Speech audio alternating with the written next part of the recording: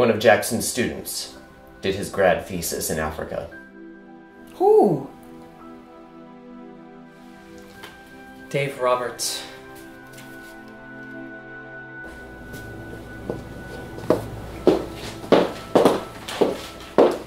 Well, this is all that I have left from Dave's trip to Africa.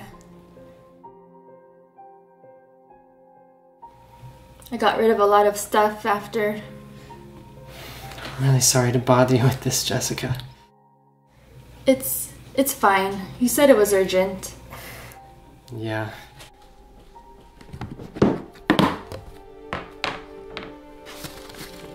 What is it you're looking for?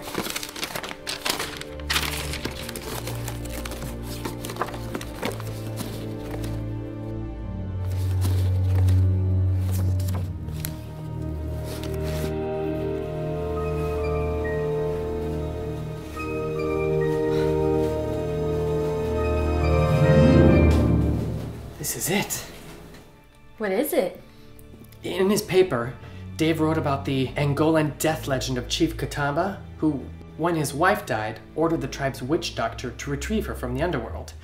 Through a magic ritual, the witch doctor made it to the underworld and found the queen, but she refused to return with him. As proof to the chief of his journey, the queen gave the witch doctor her funerary bracelet. And you think this is the same bracelet? Yes, Dave must have found it when he was in Angola. This is what they were looking for. Why would someone come looking for this? Well, there's more to the story. The chief was so distraught at the queen's refusal to return that he killed himself in order to join her. The witch doctor cremated his body, which was against the rituals of the tribe, and put the ashes in a special urn. The ashes, the legend says, have the power to bring people back from the dead. But that's crazy. Actually, wouldn't be the craziest thing I've seen. How would this help find the urn? See these engravings?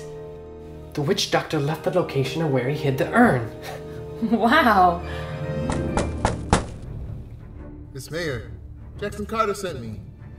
Are you there? Uh,